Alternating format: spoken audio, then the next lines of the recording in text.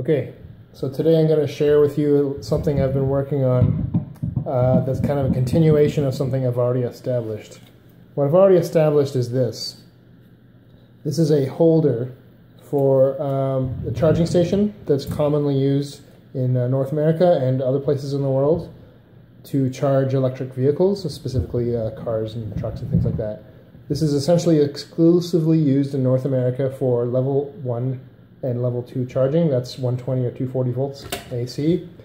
And I designed this uh, with the help of the community a little bit, and uh, now I'm in production with, uh, with this guy. This is now available on Amazon.ca and Amazon.com, and you can get these in Europe as well, but I don't ship too many of these to Europe, they're not so popular. But I have had requests for the European version, which is called Type 2. It's also for level 1 level 2 charging. Uh, and it's very different in its regard. It doesn't have this hook on here. It's just a couple holes. And uh, currently, the generally the only option for that holder holster thing that uh, is available right now is this thing from China. Uh, it looks like a central vacuum inlet, and it sticks out of the wall at exactly 90 degrees like this. And not only that, it has moving parts in it. You got to push down a button and to be able to remove it because there's a little hook latch in here. So the difference is the moving part on the North American one is on here, and the moving part is on here. But as a result, it makes this part really complicated uh, and uh, probably relatively expensive. So uh, I've had requests to take a look at designing one for uh, the European market and uh, for these, like the European version of this.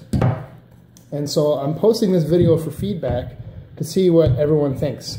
This is what I have so far. I'm thinking there's still a lot of refinement that needs to be done to this. I'm going to do something similar to this, mainly because of uh, limitations of injection molding. You can't do super complicated shapes. I have There will be a hook for the cord. Uh, this one's broken off right now just because I didn't like how it turned out. That's it there. Uh, I'll probably do like a hood like this one. Uh, that way this will work with injection molding. Plus there's a little hook on the inside here that it's kind of impossible to do with injection molding without having kind of a guide hole at the back. That's that's this this thing here to get that kind of overhang. But anyways, this actually does work. It's, it took about two, uh, two or three attempts to get this right, and it holds it down about 45 degrees, and it's steady. Now, the, this print, as good as it looks, it actually is a failure. Uh, the support material didn't quite turn out the way it was supposed to. Uh, and also, I think 45 degrees is a little too steep. Like, it does the job, but if it was just a little bit less, it would be that much easier. Plus, this this one's not 45 degrees anyway, so I think it's more like 30. Uh, so that tilting down is, helps it more ergonomic, it's intuitive, and it keeps it away from the wall. It's less of a chance of it getting snagged and hooked on something, because these things are expensive, right? You don't want to be breaking these. So this one sticks out. The idea is to have it stick out and have the cord kind of come straight down. Ish, you know, there's some variation with these.